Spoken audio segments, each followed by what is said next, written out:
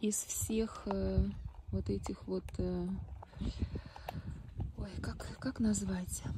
Для того, чтобы погрызть собаки. Самое любимое у нашего щенка это хорда.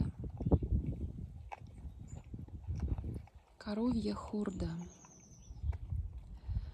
Вот он их грызет с таким удовольствием, и он сгрызает, ну, самые крупные, может быть, неделю, иногда три дня.